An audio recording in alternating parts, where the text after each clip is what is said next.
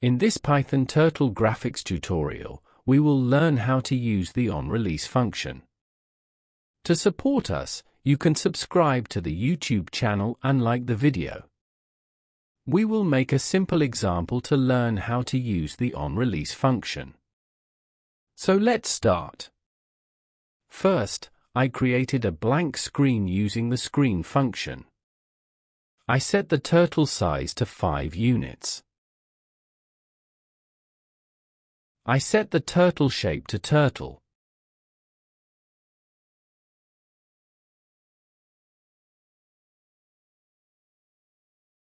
I send the move value to the onRelease function.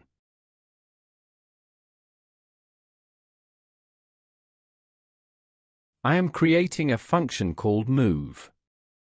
The onRelease function automatically sends x and y values to move.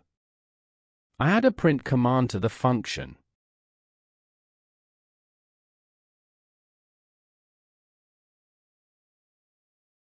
Let's see how it works.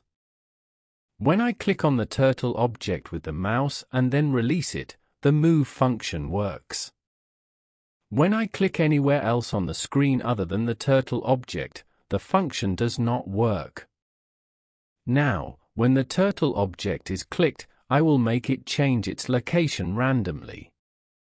To do this, I will create x and y variables and assign random values to them. To do this, I import the random library. I am sending the range of values that can occur randomly to the randRange function.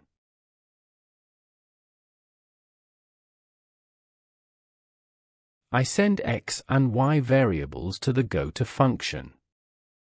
When I click on the turtle object and then release it, it moves to a random location. I try this several times. Lines appear as the turtle moves. I prevent these lines from appearing by using the penup function.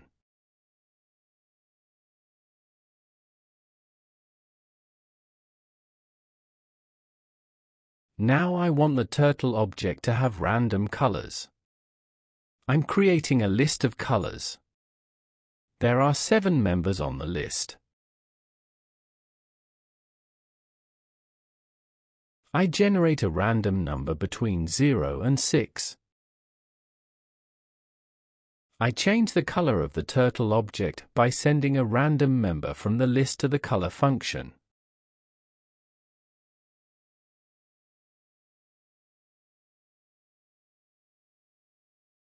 The application works as I want. In this video, we learned how to use the onRelease function. To support us, you can subscribe to the YouTube channel and like the video.